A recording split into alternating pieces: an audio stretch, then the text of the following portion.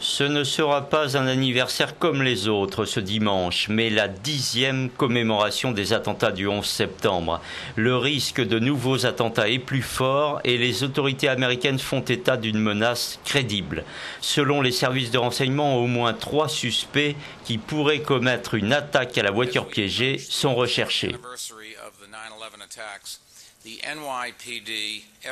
La police de New York, le FBI et les services de renseignement sont en alerte maximum, a expliqué le maire de New York, car nous savons que les terroristes voient ce dixième anniversaire comme une opportunité de frapper de nouveau. Pour le moment, la menace est crédible mais pas confirmée. Nous vivons cependant dans un monde où ces menaces doivent être prises au sérieux et nous le ferons.